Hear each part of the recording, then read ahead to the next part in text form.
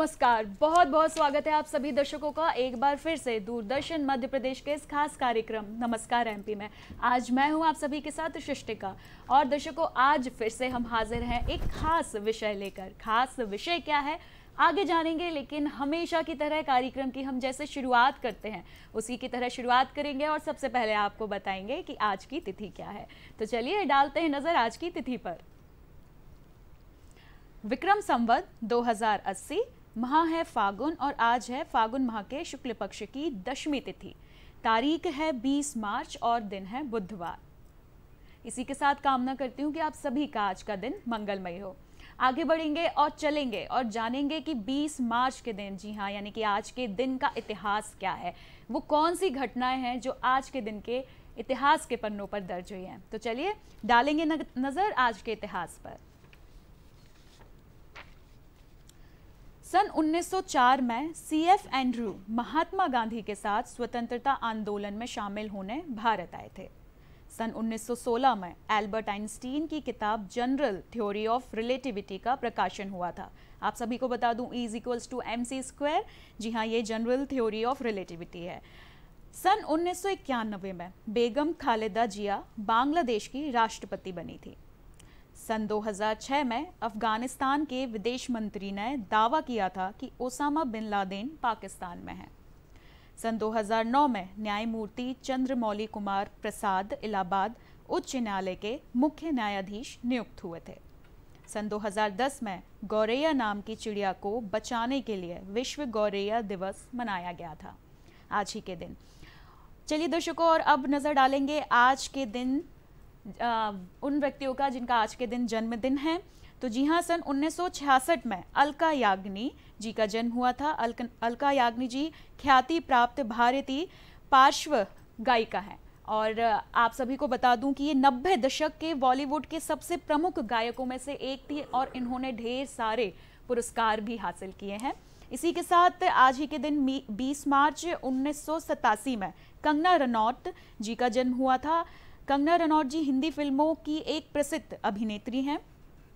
वे महिला प्रधान फ़िल्मों में ज़बरदस्त इरादे वाली और अपरंपरागत महिलाओं के चित्रण के लिए जानी जाती हैं।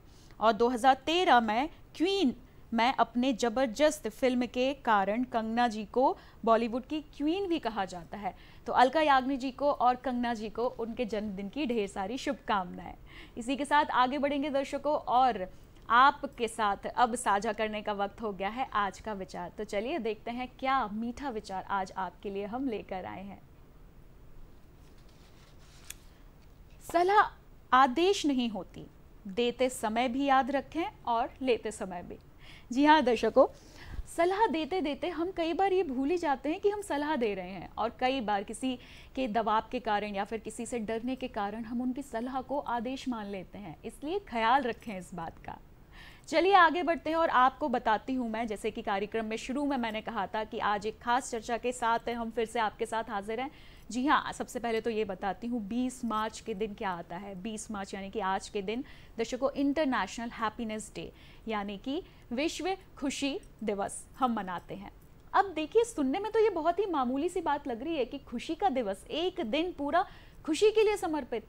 लेकिन दर्शकों, इसका असर हमारे जीवन पर, इसका नाता हमारे जीवन से बहुत गहरा है।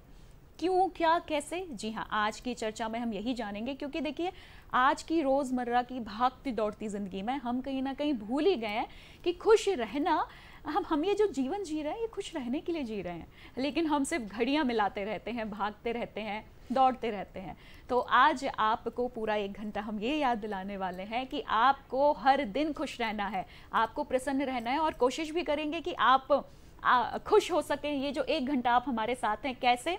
क्योंकि देखिए खुश होने का जब कोई व्यक्ति प्रसन्न होता है तो उसे एक्सप्रेस उसे अभिव्यक्त करने के बहुत सारे तरीके होते हैं। कोई नाच कर, कोई बोल कर, कोई गा कर, और कई बार गीत सुनकर भी। तो जी हाँ एक हमारा प्रयास है आपको खुश करने का, आपके लिए मीठे मीठे गीत सुनवा कर जी हाँ तो चलिए सबसे पहले आपको मिलवा देते हैं आज के हमारे मेहमानों से। मेहमानों से मिलवाने के पहले सबसे पहले याद दिलवा देते हैं कि यह कार्यक्रम एक लाइव फ़ोन इन कार्यक्रम है। जी हाँ आप हमसे जुड़ सकते हैं। जुड़ने के लिए फ़ोन नंबर्स आपको मैं बता देती हूँ। हमारा जो लैंडलाइन नंबर है वो है zero seven double five two double six double zero four nine इसी के साथ एक टोल फ्री नंबर भी आप लिख लें one eight double zero two double three double zero four zero जी हाँ इन फ़ोन नंबर्स के माध्यम से आप हमसे जुड़ सकते हैं।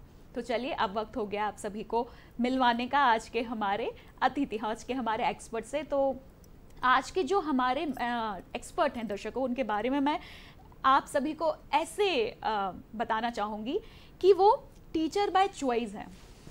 वो साइकोलॉजिस्ट बाय क्वालिफिकेशन है और प्रिंसिपल बाय प्रोफेशन है। जी हाँ स्वागत करते हैं राजेश शर्मा जी का। सर बहुत बहुत स्वागत है आपका। थैंक यू और दर्शकों जैसे कि मैंने कहा था कि खुश रखने का प्रयास। जी हाँ एक घंटा हम चाहेंगे कि आप खुशी खुशी हमारे साथ बैठे हो पूरे दिन प्रसन्न रहे। तो इसलिए आपको मीठे मीठे आज हम गीत सुनवाएँगे। और गीत सुनवाने के लिए आज हमने आमंत्रित किया है शुभम राय जी को। बहुत बहुत स्वागत है शुभम जी आपका। आप एक गिटारिस्ट हैं और एक म्यूज़िक टीचर भी। तो जी हाँ आज हम शुभम जी से प्यारे प्यारे, मीठे मीठे गीत आपको सुनवाएँगे।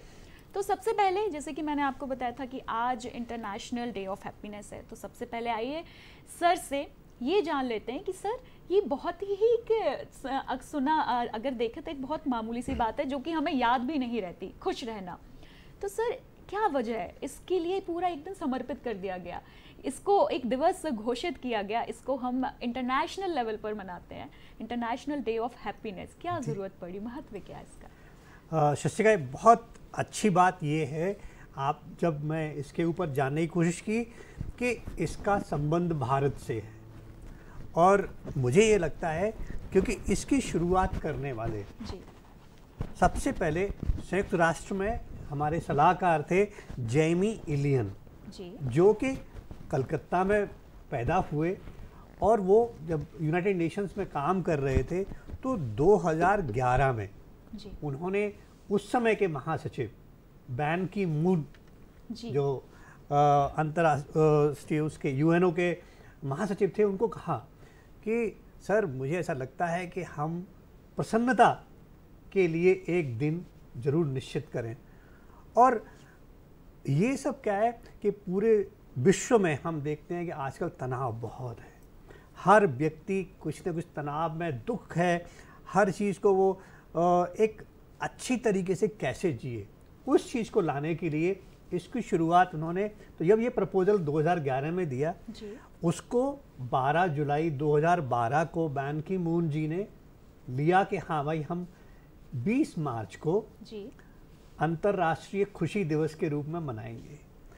और उसके बाद में 2013 से 20 मार्च को अंतर्राष्ट्रीय खुशी दिवस के रूप में पूरे विश्व में मनाया जाता है। तो खुशी की बात ये भी है कि ये भारतीय ने एक की सलाह पर ये आया। जी जो इसकी शुरुआत हुई जो पहल हुई वो एक भारतीय से हुई। बिल्कुल बिल्कुल आ, सर ये तो बहुत अच्छी बात है ये हमारे लिए गौरव वाली बात है कि एक इतना अच्छा विचार ये एक जिस पर किसी का ध्यान भी नहीं जाता इस पर उन्होंने सोचा और इसको इतना ज़रूर ज़रूरी समझा और इसे विश्व स्तर पर ये अपनी बात भी रखी।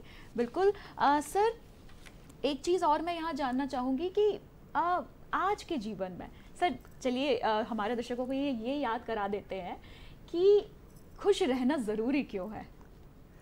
ये एक हमारा आ, जीवन का उद्देश्य अगर हम देखें सृष्टि का तो जीवन का उद्देश्य ये है कि ये हमारा एक हर व्यक्ति का हर मानव का एक मौलिक लक्ष्य है कि वो प्रसन्न रहे खुश रहे क्योंकि इसी के लिए तो मानव जीवन मिला है। और उसको सफल बनाने के लिए खुशी की आवश्यकता है। बिल्कुल सही कहा सर आपने कि इसी के लिए हमें ये मानव जीवन मिला है लेकिन हम शायद कहीं ना कहीं इसी को भूलकर बाकी सारी चीज़ों को आगे रख देते हैं। और सबसे ज़्यादा सर आज के समय में अगर देखा जाए तो जो तनाव है वो घड़ी में लाने में आता है कि आज हमें इतने बजे जाने थे तो जो वो जो क्षण क्षण की खुशी होती है ना दर्शकों वो कहीं ना कहीं हम मिस कर देते हैं। इसलिए उसको पकड़ने की कोशिश करिए। चलिए हम भी शिवम जी के पास चलते हैं और उनसे बोलते हैं कि कार्यक्रम में सबसे पहला अपना गीत प्रस्तुत करें हमारे दर्शकों के लिए। थैंक यू मैम शुरुआत करना चाहेंगे हम ऊपर वाले को ध्यान करते हुए है ना? जो हमें स्माइल मिल रही है जो मोमेंट्स मिल रहे हैं वो कहीं ना कहीं हर एक पल जो है आज हम अगर उंगली भी अपनी उठा पा रहे हैं तो वो ऊपर वाले की कृपा से उठा पा रहे हैं। तो दो लाइन में ऊपर वाले के लिए याद करते हैं है ना?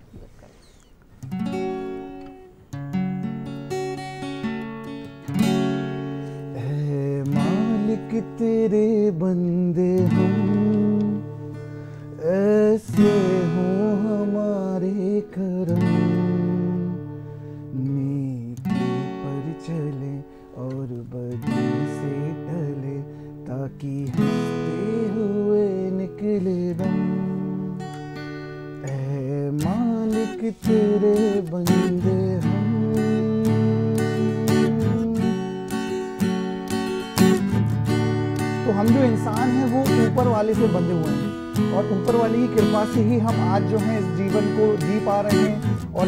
जो परेशानियाँ हैं, अपने जो दुख हैं, उनकी कृपा से निकाल पा रहे हैं। तो आगे की जो कुछ लाइन है, वो उसी तरीके से जाती है।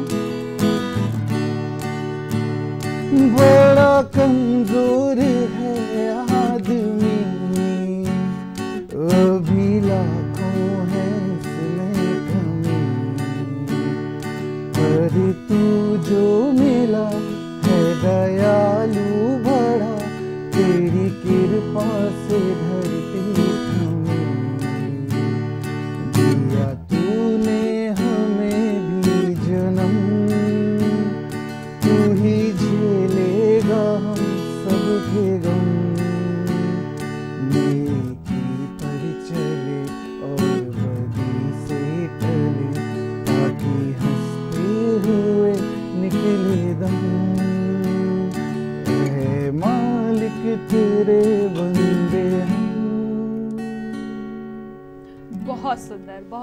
शुरुआत शुभम जी और जैसे आपने गाया जिस एनर्जी के साथ गाया वो बहुत सुंदर थी। तो दर्शकों आपको यहाँ पर एक बात और मैं बताना चाहूँगी कि आज एक और ख़ास दिन है। आप सभी को बताती हूँ कि जी हाँ आज आज विश्व गौरैया दिवस है। विश्व गौरैया दिवस और दर्शकों ये क्यों मनाया जाता है? क्योंकि ये कहीं ना कहीं ये जो हमारी चि- एक चिड़िया प्रजाति है कहीं ना कहीं लुप्त हो रही है। तो इसी बात को ध्यान में रखते हुए ये दिवस ये विश्व गौरैया दिन मनाया गया था कि ये कहीं ऐसा ना हो कि आने वाली पीढ़ियाँ हमसे ये पूछें कि ये होता क्या था। उन्हें भी आ, इन्हें देखने का मौका मिले जिस तरह हमने इनको देखकर प्रकृति की सौंदर्यता को समझा है। क्योंकि देखिए कहीं ना कहीं ये जो सारी चीज़ें ये जो पक्षी हैं ये हमारी प्राकृतिक सौंदर्यता को भी बढ़ाते हैं। और आ, ये बारिश के मज़े को भी बढ़ाते हैं। और अगर मैं कहूँ तो कवियों की रचनाओं का प्रमुख आकर्षण भी होती है। जी हाँ अब कवि की बात निकल गई है तो क्यों ना एक वाजपेयी जी की कविता आप सभी के साथ साझा किया जाए। जिसका शीर्षक है आदृश्य प्रेम। ये उन्होंने लिखी थी आ, वो यहाँ पर इन पंछियों को अपना मित्र बोल रहे हैं और इन पंछियों को वो देख रहे थे खिड़की से भीगते हुए मौसम में बारिश के मौसम में। तो कुछ इस तरह उन्होंने पंक्तियाँ लिखी थी इस आदृ आदृश्य प्रेम की।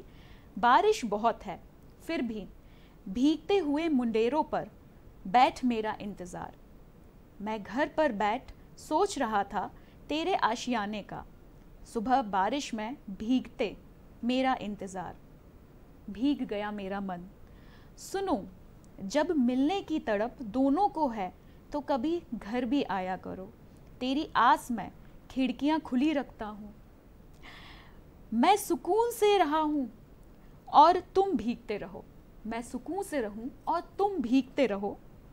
अच्छा नहीं लगता, घर आ जाया करो।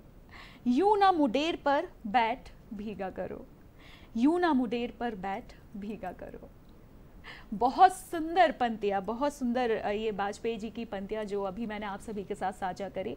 और ये कहीं ना कहीं, ये हमें बता रही हैं कि ये जो नन्हे शुभ चिंतक हैं, ये जो नन्हे नन्हे पक्षी हैं, इनके प्रति संवेदनाशील बने।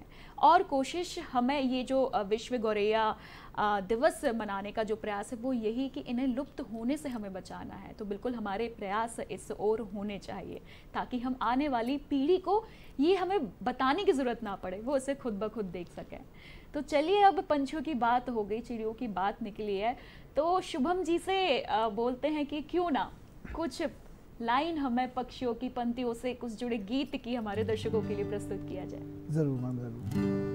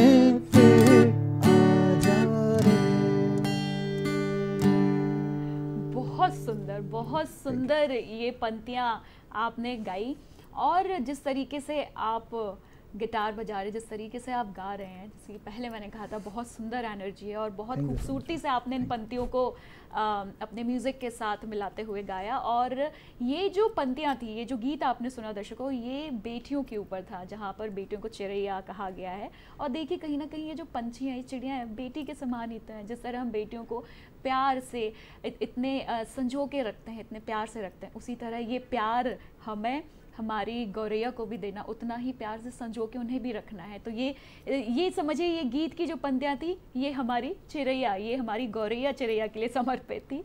आ, राजेश आ, सर जी आ, सर जैसे कि आज गौरैया दिवस है इस विषय पे आप क्या कहेंगे हमारे दर्शकों को? आ, सबसे पहली बात मैं ये कहना चाहता हूँ कि पर्यावरण देखिए हमारी जो भविष्य है वो हमारे पर्यावरण पर बिल्कुल, बिल्कुल निर्भर करता है। और कोविड 19 जब आया तो हमें इस बात से और ज्ञान मिला कि पर्यावरण के बिना मानव जीवन संभव नहीं है। बिल्कुल सही और उसमें धीरे धीरे क्या हो रहा था गौरैया अगर आप देखें तो एक बड़े पारिवारिक पक्षी है।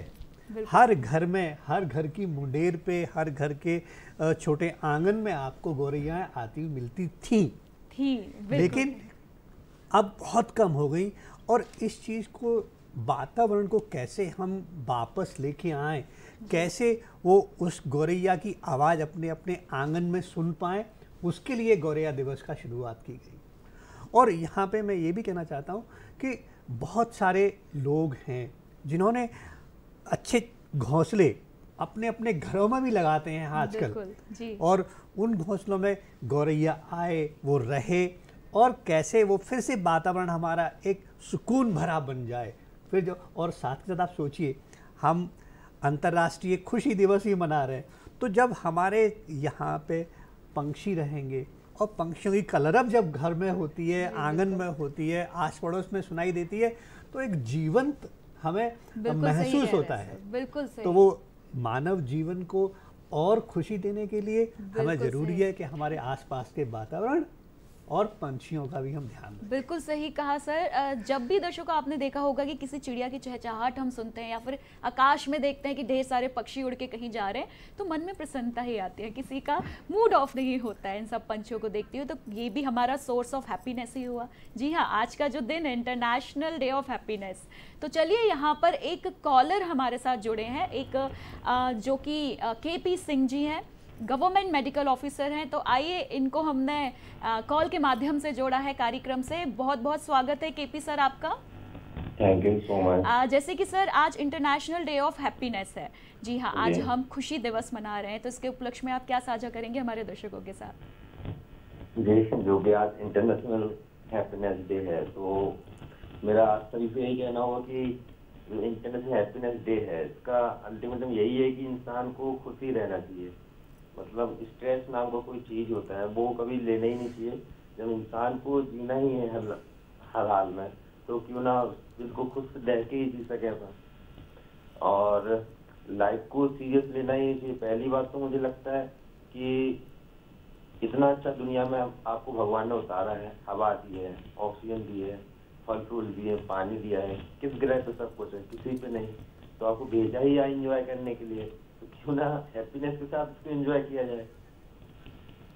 बिल्कुल।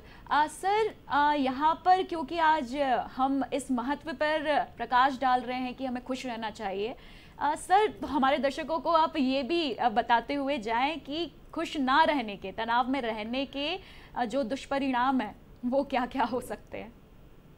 तनाव में इंसान तनाव में नहीं रहना चाहिए। उसको जो आजकल लोग अपनाना गोल जो होता है ना वो काफ़ी एक्सपेक्ट जो करते हैं ना वो उम्मीद से ज़्यादा कर लेते हैं। अपने प्रेजेंट डे पे रहते ही नहीं है। और प्रेजेंट डे पे अपन मतलब सोच ही लेते हैं कि अपन को ऐसा अपना हो सकता है लेकिन वैसा नहीं होता है।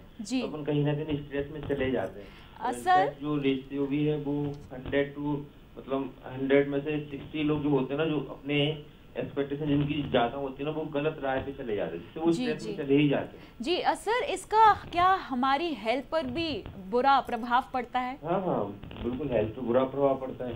सबसे ज़्यादा प्रभाव पड़ता है आजकल नींद नहीं आना और जिस प्रॉपर नींद नहीं लेना प्रॉपर स्लीप आपका नहीं है तो आप स्ट्रेस में जाते ही हैं और जो आपकी हेल्थ पे इतना बुरा असर डालता है कि जो आपको दिखता है सामने कि मैं मतलब हेल्थ से ही इंसान डाउन होने लग जाता है फिर वो उसका कहीं मन नहीं लगता है। जी।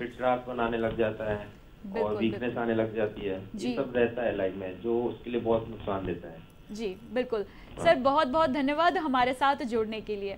तो दर्शकों जी तो दर्शकों जैसे कि सर ने कहा डॉक्टर सर ने कहा कि देखिए हर हाल में आपको जीना है तो क्यों ना खुशी खुशी हम जिए।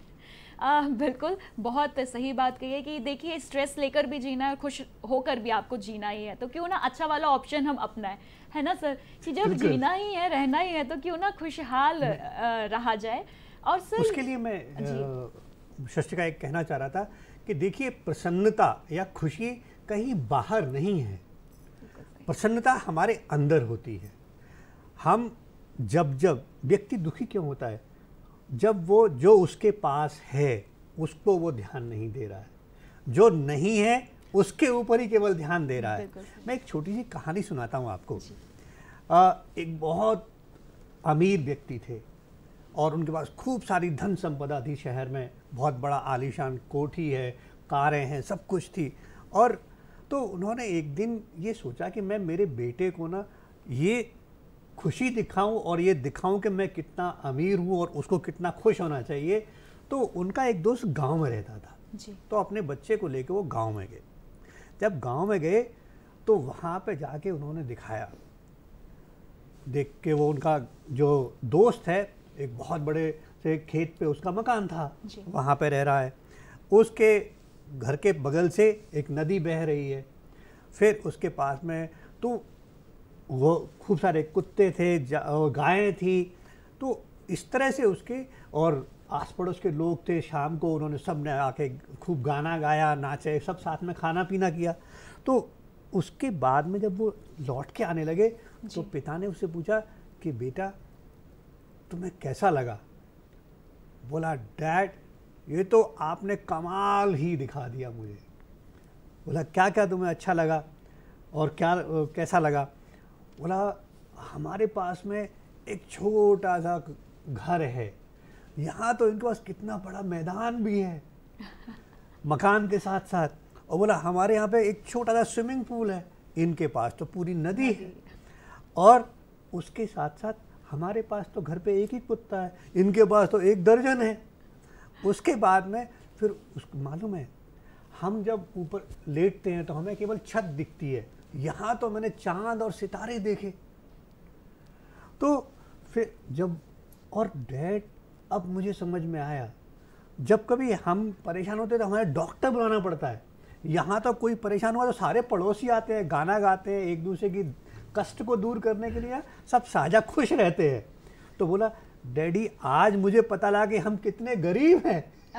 तो उसके पिता सन्न रह गए क्या देखो प्रसन्नता की उसकी परिभाषा क्या है मेरे बेटे की? बिल्कुल सही। तो उसी तरीके से हर व्यक्ति को प्रसन्न कैसे रहना है ये उसको निर्धारित करना है। बिल्कुल सही कि दर्शकों कई बार आपका जो दृष्टिकोण होता है उस पर भी बहुत सारी चीज़ें निर्भर करती हैं। आप कैसे अपने आसपास की चीज़ों को देख रहे हैं ये बहुत महत्वपूर्ण है। तो इसलिए हमेशा सकारात्मक रहें और सकारात्मक नज़रिया रखें। चलिए शुभम जी के पास चलते हैं और उनसे एक और गीत के लिए रिक्वेस्ट करते हैं। जी। शुभम जी यहाँ पर मैं एक मिनट आपसे लेना चाहूँगी क्योंकि कॉलर शायद हम हमारे साथ जुड़ गए बहुत बहुत स्वागत है आपका। हाँ जी नमस्कार। जी अपना प्रश्न रखें। जी मैं सर से ये पूछना चाहती हूँ कि आज के परिवेश में जो हमारे बच्चे हैं उनके ऊपर इतना ज़्यादा प्रेशर हो चुका है पढ़ाई का ओवरऑल जो उनका जितना भी करिकुलर एक्टिविटीज़ हैं, उनको वो कंप्लीट करें, अपनी क्लास में अच्छा रैंक लेकर आए परीक्षाओं में उत्तीर्ण हो। इन सब के बीच में जो आज के बच्चे हैं, वो खुशी कैसे ढूंढ सकते हैं? और आप उन माँ बाप को क्या संदेश देना चाहते हैं? धन्यवाद। बहुत महत्वपूर्ण प्रश्न है शस्तिका मैं और आपका बहुत बहुत धन्यवाद ये प्रश्न पूछने के लिए। क्योंकि आज के बच्चों में तनाव का मुख्य कारण मैं ये कहूँगा कि हमारे पेरेंट्स और इसमें अध्यापक भी जुड़ते हैं कि उनके जो उससे आशाएँ हैं एक्सपेक्टेशंस इतने ज़्यादा हैं कि बच्चा तो दबाव में बिल्कुल नीचे बैठा ही जा रहा है। बिल्कुल और उसके साथ साथ उसके खुद के अपने एक्सपेक्टेशंस इतने ज़्यादा हो जा रहे हैं कि वो तनाव का कारण यहाँ पे भी है। और मैं बड़े दुख लगता है कि हम बहुत सारे शहरों में जैसे कोटा की बात करें स्टूडेंट सुसाइड इतने ज़्यादा होने लगे हैं। उसका एक कारण जो मुझे समझ में आया मनोवैज्ञानिक रूप से हमारे बच्चे बिल्कुल कांच की तरह फ्रिजाइल हो गए। फ्रिजाइल से मतलब क्या है कि उनमें सहन शक्ति बहुत कम हो गई है। और यहाँ सहन शक्ति किसी भी बच्चे की कैसे बनती है? उसकी पारिवारिक परवरिश से। बिल्कुल हमें ये मानना पड़ेगा कि हर बच्चा अपने आप में अद्वितीय यूनिक है। हमें दूसरे से उसकी तुलना नहीं करनी है। सबसे बड़ा कारण जो तनाव का है वो है बच्चे की तुलना करना। बिल्कुल। ये पड़ोसी के बच्चे से तुलना करना अपने जो रिश्तेदार नातेदार हैं उनके बच्चों से तुलना करना और उसको ये कहना तू उसको देख उसने कितना बढ़िया किया है वो करके ये पास हो गया वो आईआईटी में चला गया वो वहाँ चला गया। मैं ये कहता हूँ कि आप सोचिए हमारी जो शिक्षा व्यवस्था है उसमें भी कुछ कमियाँ हैं।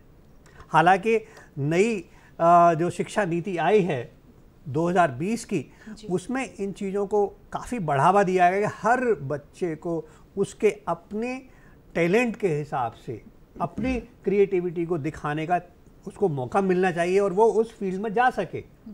तो मेरा सभी अभिभावकों से पेरेंट्स से ये करबद्ध प्रार्थना है कि कृपा करके बच्चे को उसके हिसाब से चलने दें।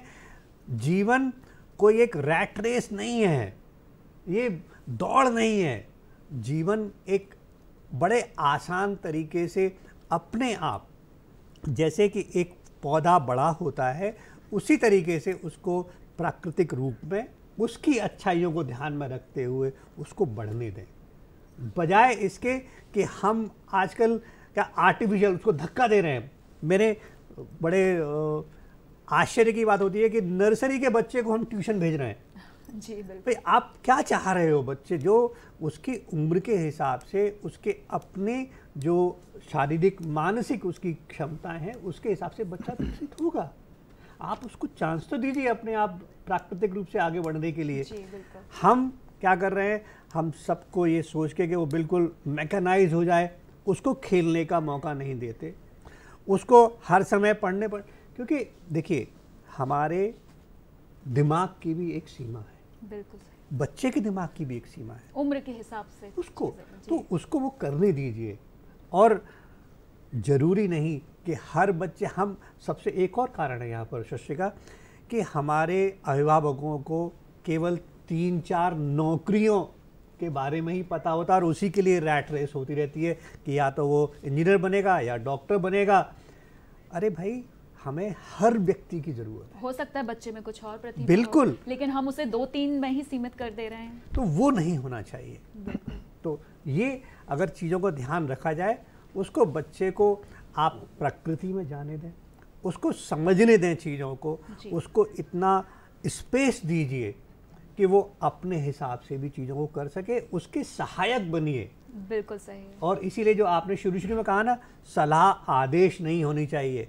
तो मेरा भी सभी अभिभावकों से ये करबद्ध फिर प्रार्थना है कि भाई उसके फैसिलिटेटर बनिए आप सलाहकार बने और उसको सहायता करें।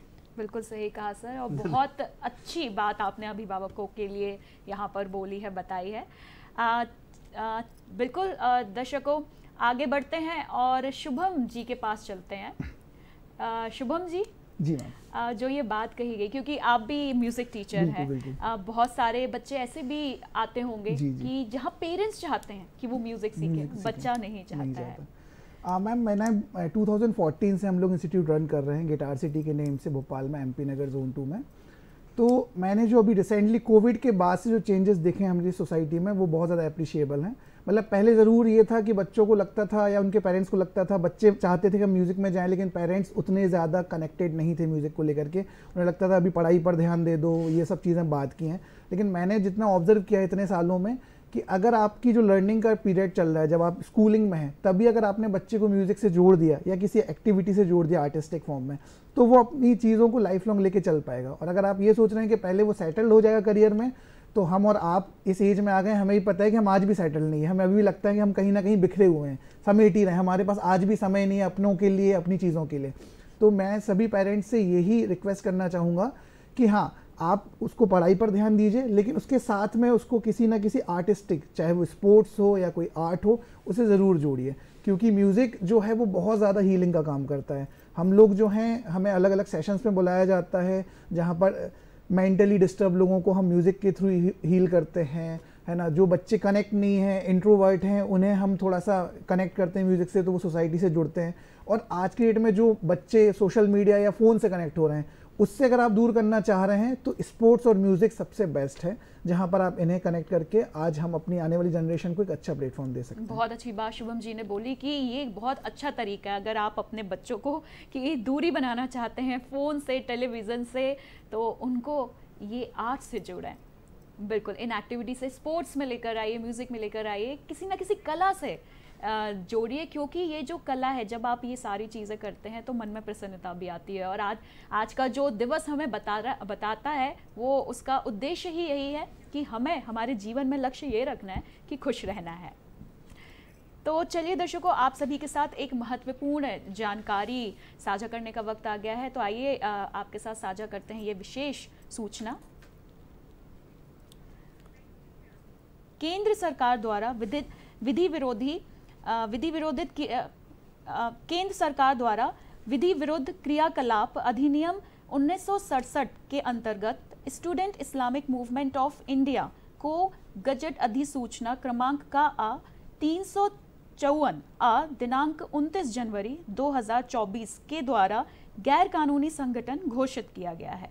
इस संबंध में दिल्ली उच्च न्यायालय के न्यायाधीश माननीय न्यायमूर्ति श्री पुरुषरेंद्र कौरव कुमार कौरव जी अध, की अध्यक्षता में एक न्यायाधिकरण का गठन किया गया है जो तय करेगा कि सिमी को गैर कानूनी संगठन घोषित करने के पर्याप्त कारण है या नहीं। माननीय न्यायाधिकरण द्वारा सिमी के पदाधिकारियों को नोटिस भेजकर सुनवाई के एक सप्ताह पूर्ण आपत्तियाँ जवाब भेजने को कहा गया है।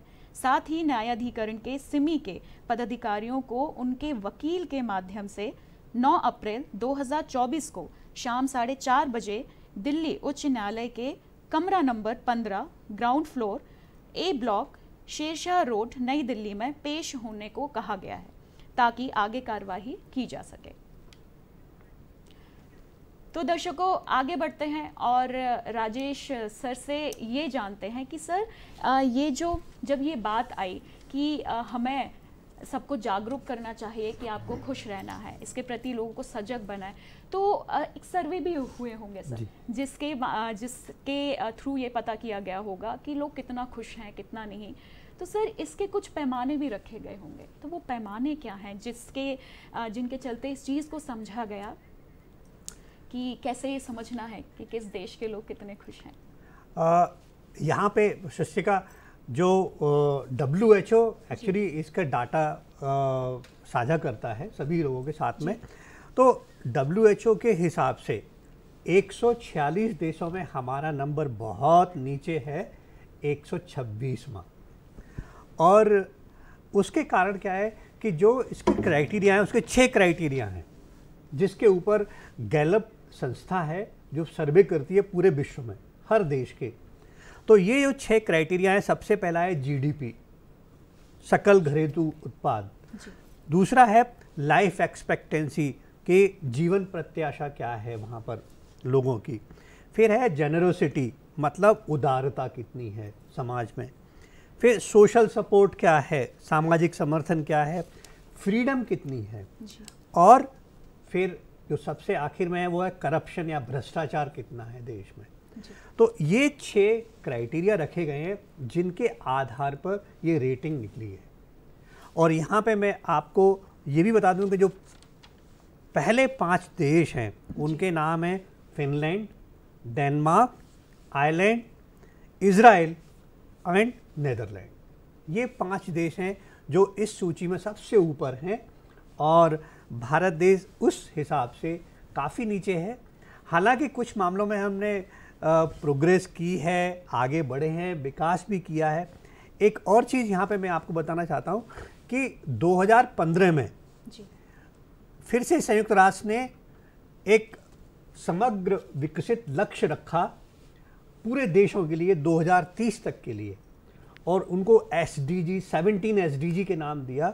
और इसमें जो चीज़ें आती हैं वो मैं आपको आ, बताना चाहूँगा कि सबसे ज़रूरी कुछ चीज़ें थी। जैसे इसमें रखा गया था कि हर जगह सभी रूपों में गरीबी को ख़त्म करना फिर भूख भुखमरी को ख़त्म करना फिर स्वस्थ जीवन सुनिश्चित करना सभी लोगों के कल्याण को बढ़ावा देना सभी के लिए समाज सेवी और गुणवत्तापूर्ण शिक्षा सुनिश्चित करना फिर लैंगिक समानता देना जी। सभी के लिए सुरक्षित स्वच्छ जल और स्वच्छता का सुनिश्चित करना सभी के लिए रोज़गार और सभ्य काम करने के लिए बढ़ावा देना जलवायु परिवर्तन और उसके प्रभावों का भी मुकाबला करना। महासागरों समुद्रों और समुद्री संसाधनों का संरक्षण और सतत उपयोग भी। वनों का सतत प्रबंधन जी। और मरुस्थलीकरण का निपटारा न्याय संगत शांतिपूर्ण और समावेशी समाज को बढ़ावा देना।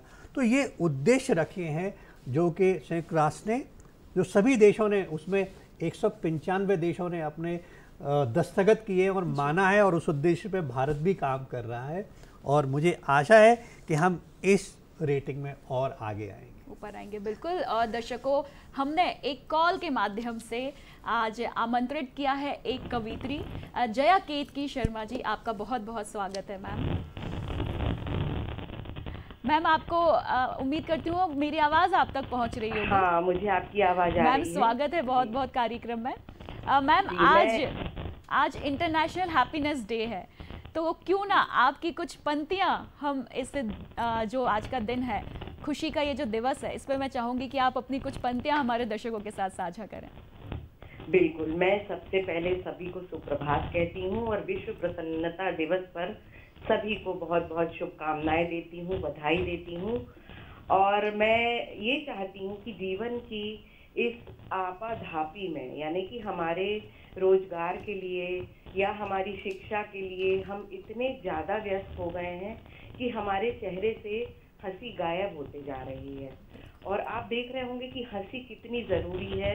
व्यायाम में भी बताया गया है कि हंसना हमारे स्वास्थ्य के लिए भी बहुत लाभदायक है। तो मैंने इसी से जुड़ी हुई कुछ पंक्तियाँ लिखी थी तो साझा करूँगी।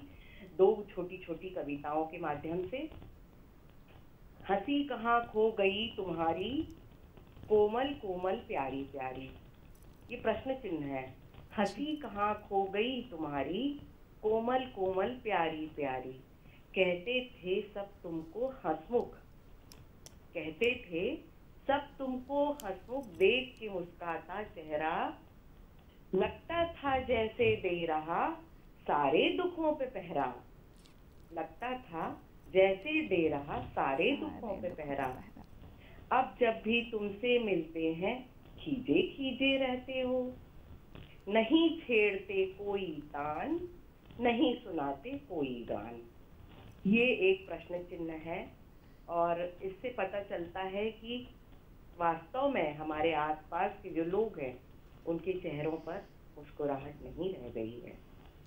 फिर एक और कविता है। जी। मैंने कहा बेटी आज इतना क्यों खिलखिला रही हो? मैंने कहा बेटी आज इतना क्यों खिलखिला रही हो? उसने कहा आज मेरा रिज़ल्ट आया है। उसने कहा आज मेरा रिज़ल्ट आया है। मैंने कहा कौन सा नंबर? उसने कहा ए ग्रेड। मैंने कहा कौन सा नंबर? उसने कहा ए ग्रेड मैंने कहा मतलब? उसने कहा छात्रवृत्ति मिलेगी. उसने कहा छात्रवृत्ति मिलेगी? मैंने कहा खूब पढ़ो खूब बढ़ो। बेटी फिर खिलखिला पड़ी। धन्यवाद। तो ये मेरी दो छोटी छोटी पंक्तियाँ थी। मैम बहुत सुंदर पंक्तियाँ। जी आपको संदेश मिला। जी बिल्कुल। मैम कहीं ना कहीं ये पंक्तियाँ हमें ये बता रही हैं कि खुश रहिए। बहुत बहुत धन्यवाद मैम अपनी इतनी खूबसूरत पंक्तियाँ हमारे दर्शकों के साथ साझा करने के लिए। जी आपका आभार। मुझे समय दे तो दर्शकों जैसे कि मैम की केक की मैम की पंक्तियों में एक ये लाइन थी कि नहीं छेड़ते कोई तान नहीं सुनाते कोई गान। लेकिन हम आपको सुनवाएँगे। बिल्कुल तो चलिए, शुभम जी के पास चलते हैं और सुनते हैं उनसे उनका अगला गीत। देखिए मैम, आज जो डे है, हमारा वर्ल्ड हैप्पीनेस डे, ये कहीं ना कहीं हमें बताता है कि हमें हर पल में खुश रहना है है ना? खुश रहने के लिए कोई शुभ मुहूर्त नहीं होता है, कोई शुभ दिन नहीं होता है, कोई शुभ घड़ी नहीं होती है। आपके पास जो स्माइल है, आप उसे जैसे ही निकाल देंगे, उसी दिन आप खुश हो गए, वो मोमेंट आपको खुश हो गया। तो उस मोमेंट को लेकर चलते हुए हम किशोर जी द्वारा गाया हुआ एक गाना मैं आपके लिए सुनाता हूँ।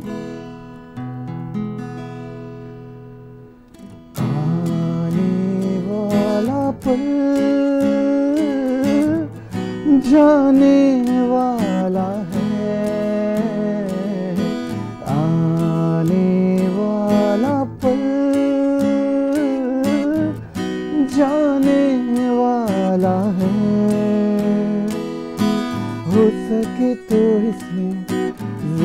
ज़िंदगी बिता दो पल जो ये जाने वाला है।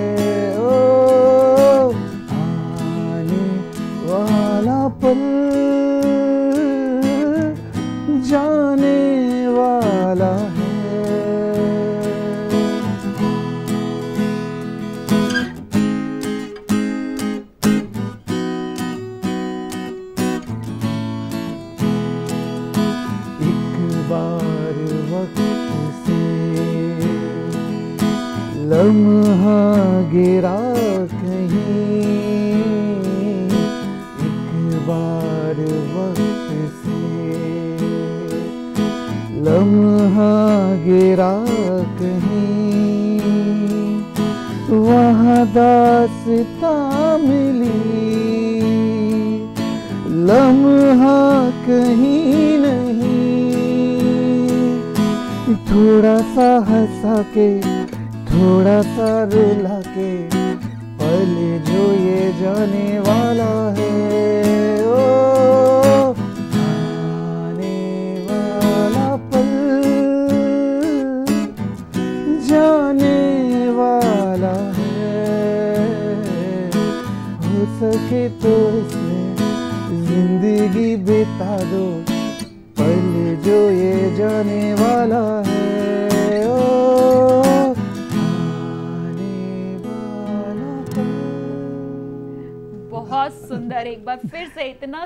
गीत आपने हम सभी को सुनाया। पूरा माहौल ही दर्शकों को बदल गया। इतना अच्छा गाना मतलब एक मिनट के लिए भी ध्यान, मन कहीं और नहीं गया।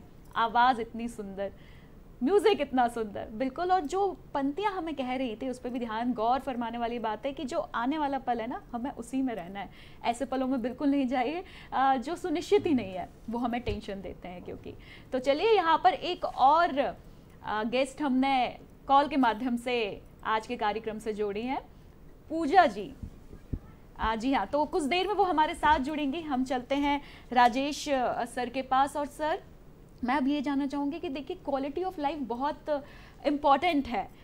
और आज की लाइफ में कहीं ना कहीं हम उसे ही मेंटेन नहीं कर रहे हैं और यही वजह है कि हम खुश नहीं हैं। हमारे पास बहुत कुछ है खुश होने के लिए लेकिन वो एक दो चीज़ को हम दुख का कारण बना के बैठे हुए हैं। तो क्वालिटी ऑफ़ लाइफ हमें कैसे मेंटेन करनी चाहिए?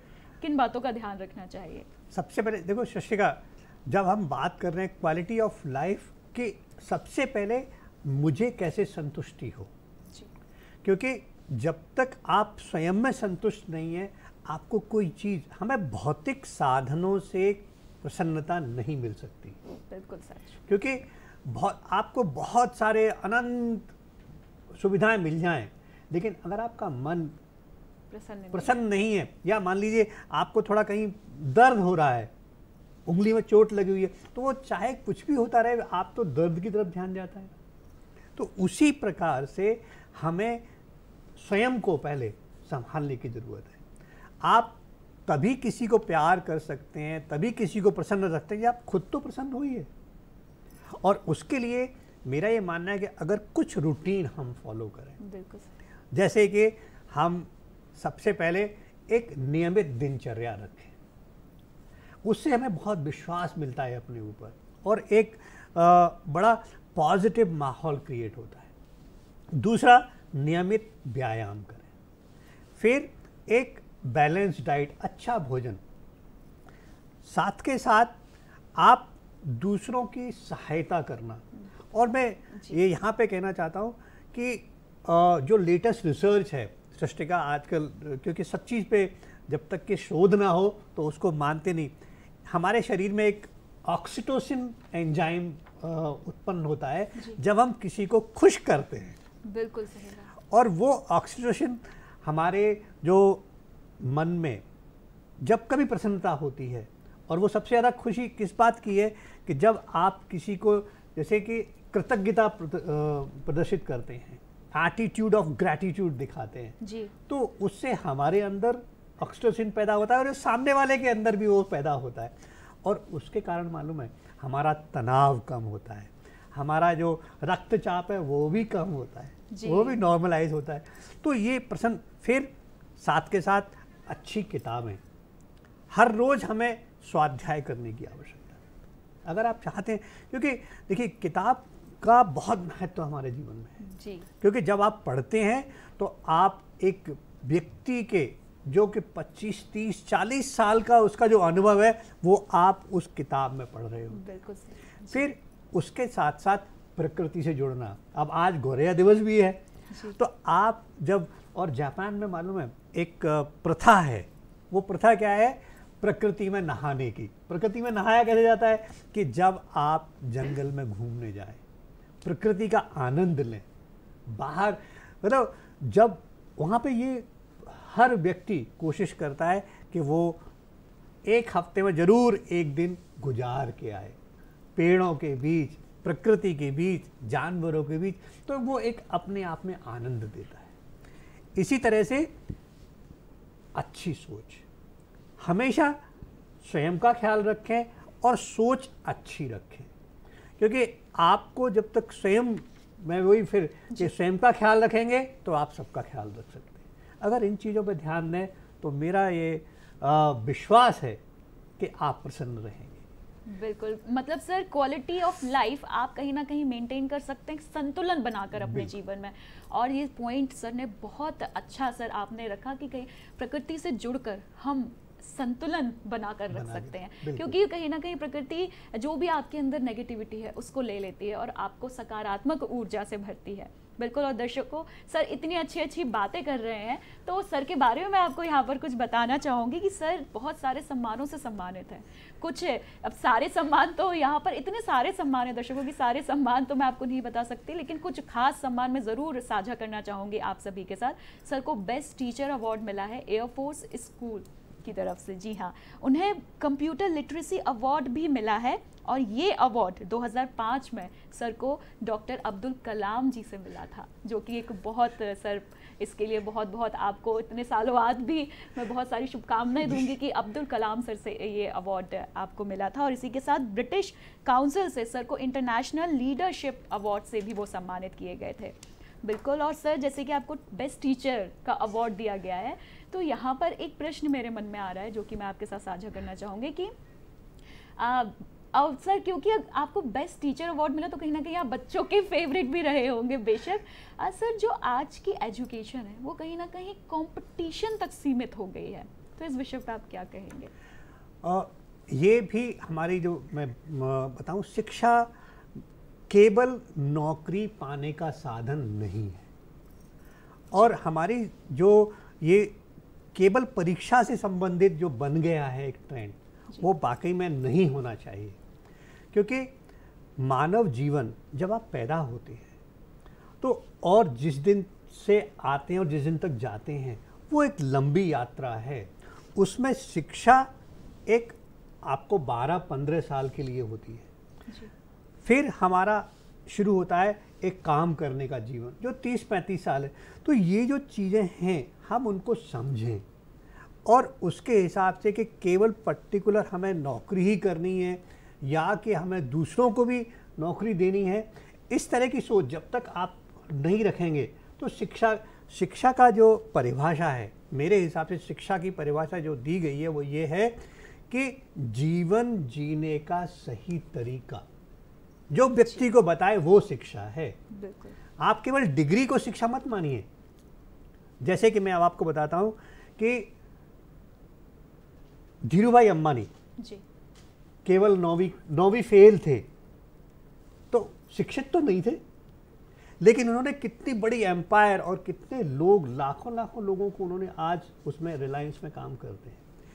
के के बिरला चौथी क्लास पास थे केवल। और चौथी क्लास पास करने के बाद उन्होंने गाँव छोड़ा कि कुछ मुझे करना है।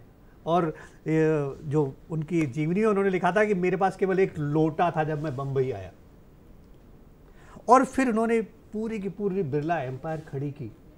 कहने का मतलब ये है कि शिक्षा केवल डिग्री मात्र नहीं होनी चाहिए। हमारे ज्ञान ज्ञान हमें कहाँ ले जाएगा? हमारे अपने टैलेंट और उसके साथ साथ ये सोच कि मुझे कुछ बड़ा करना है। डॉक्टर कलाम हमेशा ये कहा करते हैं कि हमें हमारे जो सपने हैं ना सपने वो नहीं जो आप नींद में देखते हैं। जी सपने वो होते हैं जो आपको सोने नहीं देते। तो मेरा ये मानना है कि शिक्षा हर बच्चे को उस प्रकार से मिले कि उसका जो अपना इनहेरेंट टैलेंट है जो उसमें अच्छाइयाँ हैं वो सारी की सारी बाहर आए वो अपने आप में संतुष्ट हो और समाज के लिए कुछ अच्छा करें। जी बिल्कुल बहुत अच्छी बात सर आपने ये रखी। शुभम जी के पास चलते हैं क्योंकि बहुत समय तो हमारे पास नहीं है तो एक छोटा सा गीत मैं आपसे किसी गीत की कुछ पंक्तियाँ सुनना चाहूँगी। हाँ बिल्कुल मैम ये जो मैं गीत सुना रहा हूँ ये मैं अगर इसको थोड़ा सा समराइज़ करूँ तो मैं ये दिखाना चाह रहा हूँ और अपने दर्शकों को और आप सभी को ये बताना चाह रहा हूँ कि हम खुश रहने के लिए किसी दूसरे पर डिपेंडेंट ना रहें। जी बिल्कुल। है ना? हम कहीं ना कहीं ये सोचते हैं कि यार उस दोस्त के पास चलते हैं या वहाँ घूमने चलते हैं हमें खुशी मिलेगी। खुशी हमारे अंदर से है। अगर आप खुश होंगे तो वो आप कहीं खाली भी बैठेंगे तो सब खुश सब खुश हो जाएगा। तो जो आगे का कुछ गाना है जो मेरा सॉन्ग है ये आपको कहीं ना कहीं ये दिखाना चाह रहा है कि आप खुद से कनेक्ट रहिए। अगर आप खुद से कनेक्ट हैं तो आप सुख और दुख सारे झेल जाएँगे। हम्म, किसका रास्ता देखे? दिल ए सौदाई नीलों है खामोशी, बरसों है तन्हाई। भूली दुनिया कभी की, तुझे भी, मुझे भी, फिर किस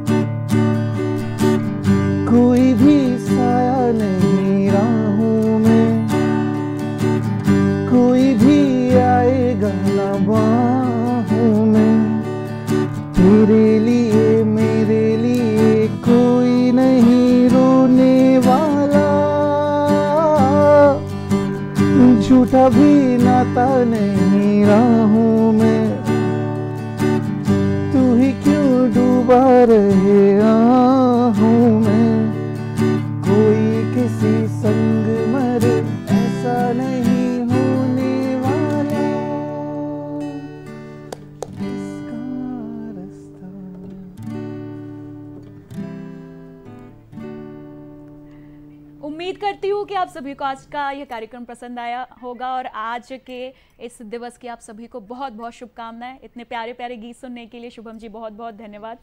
राजेश, आपका भी बहुत बहुत धन्यवाद कार्यक्रम में समय देने के लिए। तो दर्शकों, अगले अंक में फिर मिलेंगे। मुझे अनुमति दीजिए। नमस्कार।